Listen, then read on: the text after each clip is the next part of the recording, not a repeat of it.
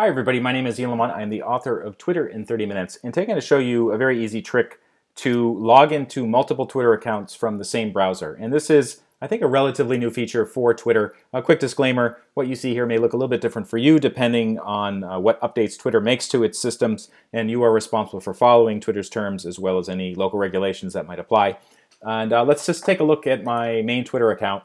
And uh, this is something I noticed uh, relatively recently. If you go to, the, if this is in a uh, Firefox browser, but it also works in other browsers, and regardless of whether it's a Windows or Mac or uh, any other sort of desktop uh, browser you're using, if you go to the lower left corner, it'll show your name and your Twitter handle, and then click on the little downward pointing arrow, and it says add an existing account.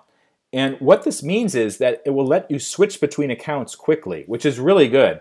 If you've already um, logged in in previous browser sessions from a long time ago, it'll show you all of the all of the available logins. So I'm going to use this one here, and it automatically populates the password. And then you click login. And then this is my other account. Okay? And if I wanted to switch back, I'd click that again, and then I'd switch back to Ian Lamont. For more information on how to get the most out of Twitter, check out my book, Twitter in 30 Minutes, available from in30minutes.com. Also, if this video helped you, please take a moment to like it.